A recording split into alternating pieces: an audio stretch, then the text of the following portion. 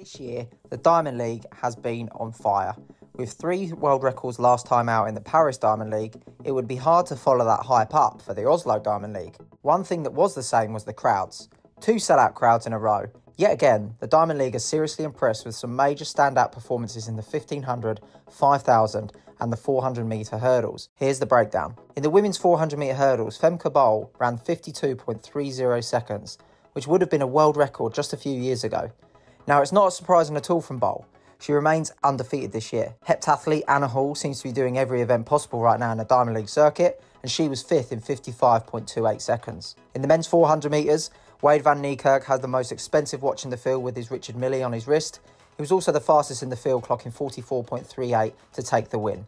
The world record holder for the 400 metres, it's great to see him back in action. In the women's 3,000 metres, the pace was set for 8.31, and it was Alicia Monson who took responsibility of keeping the pace respectable once the pacemakers had dropped out. She did enough to hold on to fourth place in 8.29, with Beatrice Chebet closing like a demon to take the win in 8.25. In the men's 200 metres, Erriyon Knighton led from gun to tape, running a brilliant bend, finishing in 19.77 seconds. Knighton now has the 10 fastest times in history by someone under the age of 20.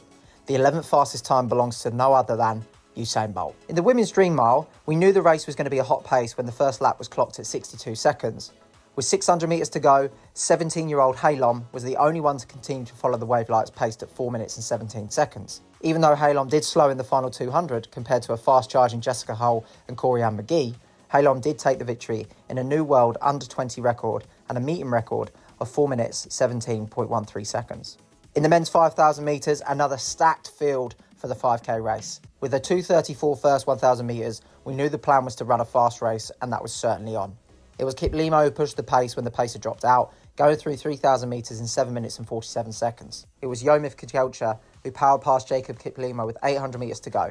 Kejelcha, in classic Kejelcha fashion, pushes anyone who's trying to overtake him out into lane 3. And after a photo finish, it was Kejelcha who managed to run 1241.73 to Kiplimo's second place in 1241.73 with the tightest of photo finishes. That's the fifth fastest of all time in the 5,000 metres. Now, dropping back down in distance, in the women's 100 metres, 34 year old Marie-Josée Ta Lou dominates from start to finish with an electric start and drives away from a world class field, including Shericka Jackson and Dina Asher Smith. Her final time was a meeting record of 10.75, just off of her absolute best. In the 400 metre hurdles, hometown favourite Warholm is back after his troubled 2022. Now, he may look like he tied up in the last 100 metres, but he still ran a 46.52, which would have smashed the world record back in 2021. It was the fourth fastest time in history, faster than when he broke the world record at Oslo two years ago. And finally, in the blue ribbon event to round out the evening, in the men's 1500 metres, it was possibly one of the best 1500s of all time. The only one comparable is the Monaco Diamond League in 2015. Neil Gourley ran 330.38 and came 10th. Jakob Ingebrigtsen won in a time of 327.95, closing in a 41 second last 300 metres.